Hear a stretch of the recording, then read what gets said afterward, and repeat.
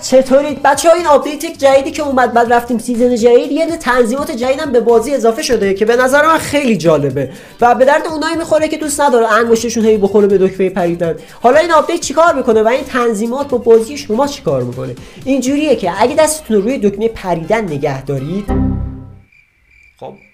این چیز مسخره جمله بندیم افتضاح شد. نباید اینجوری می‌گفت. اگه دست بزنید به دکمه پریدن نمیپره. حالا خب چیکار کنیم بپره؟ باید یه ثانیه دستتون رو دکمه پریدن نگه دارید بعد از اینکه برداشتید میپره. جالبه به نظرم. شاید بعدا به یه دردایی بخوره ولی خب الان نمی‌دونم به چه دردی می‌خوره. فعال کردنش هم اینطوریه که میرید توی setting طبق معمول بخش basic هم battle royale ش هست هم multi ش هست. میایید پایین. یه دکمه اینجا هست علامت سوال و این داستانا داره jump button supports jump and climb.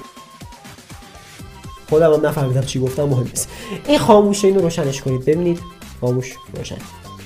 اینو که بزنید یه چیز عجیب غریبی میشه اصلا. من خودم اذیت شدم تو بازی.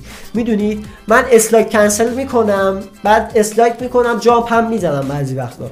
اینم باحاله ولی خب نمی‌دونم دیگه. شاید به دردتون بخوره. خوبی بدی دیدین حلال کنید اینجا ربطی نداشتم بعد گفتم بعد گفتم like و subscribe یادتون نره. حتما حتما حتما حتما حتما حتما. ویدیوهای دیگر هم ببینید. این بالا هم یه ویدیو آموزشی خیلی خفن میاد برای عوض کردن gun تون به شکل خیلی سریع. دوتا فلش میاد می‌زنی gun تون عوض میشه.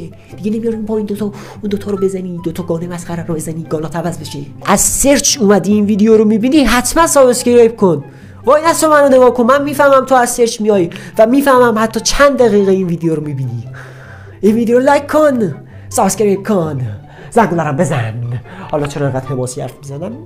بازم نمی‌دونم. هی تو این ویدیو گفتم نمی‌دونم. این ویدیو قبلی رو خودتون برید ببینید. حالا کنید دیگه. پس تا این روز دیگه یه ویدیو دیگه.